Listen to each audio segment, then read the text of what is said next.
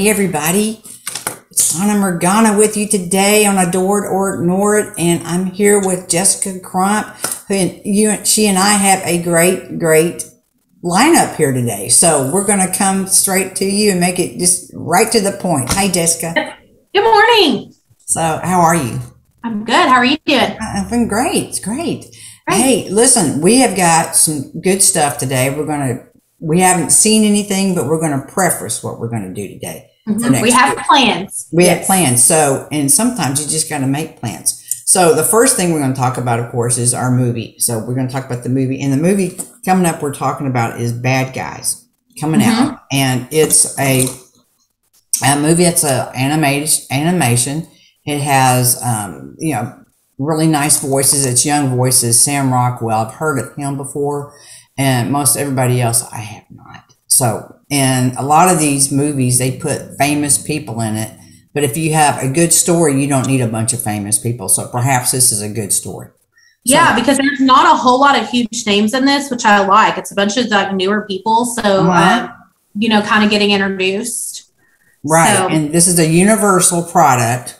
Mm-hmm. Okay, mm-hmm. so this is Universal Studios, which is you know ginormous, and uh, especially since I was there two weeks ago at the Universal Studios tour, it, has got unbelievable ass, access to everything. So their product is always a good product visually. Yeah. Usually, yes. Yes. And this one has been out for a few, uh, about two weeks now, and the mm-hmm. the ratings are pretty good. So I'm hopeful on it. It's got 94%. That's mm-hmm. liked it. And that's a huge margin. That other yeah, 7% probably from uh, Disney, you know.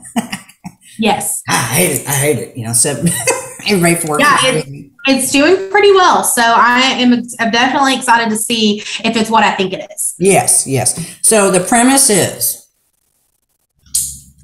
Okay, so the premise is a bunch of like bad guys and they finally you know their luck runs out and they get in trouble. And in order to not go to jail or prison or whatever um, they have to fool that they have become you know model citizens. Or good guys now.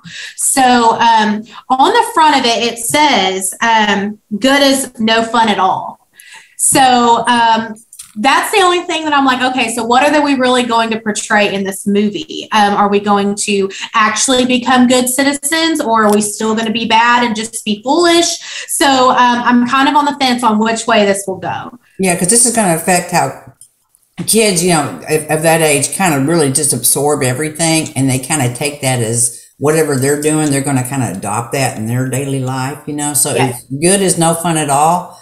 Uh, being yeah. in trouble is no fun at all all the time too so for sure for sure so i'm hoping we're going to take that route um, so we will we'll know soon enough but yes. that's my hope for it is that it is going to show they are going to change and um, that being good can be fun so because yes. being in trouble is not fun at all yeah uh-huh because they're they're only reason they're turning good is so they don't have to go to prison and they mm-hmm. tell you that in the in the preface of the movie you know kind of yes. their little uh, synopsis of the movie so that's kind of the thing in their route to get there and then how the bad stuff still keeps falling and they're trying to resist it is what yes. i've seen in the trailer so i'm hoping that they do become model citizens so we'll, we'll see we'll see we'll know soon enough and they use animal characters of course to always relay they're yes, you know, it's lighthearted. Mm-hmm. So there's a snake, a piranha, a shark, a tarantula, and a wolf. So, yeah, a tarantula is really weird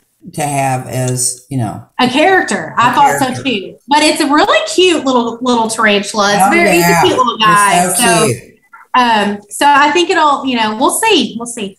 Well, let's hope she uses Nair because I think it's a female tarantula, so it, they're always hairy. So put the Nair yep. on, and that maybe be cute. But other than that, maybe it'll All be right. cute. So another movie we're going to be on the lookout for that's been around for a couple decades now is you know Toy Story, and now they're breaking off with the characters because I got to keep it going. And the one that's coming out is called Buzz, right? Buzz. Mm-hmm. It, comes out on Buzz.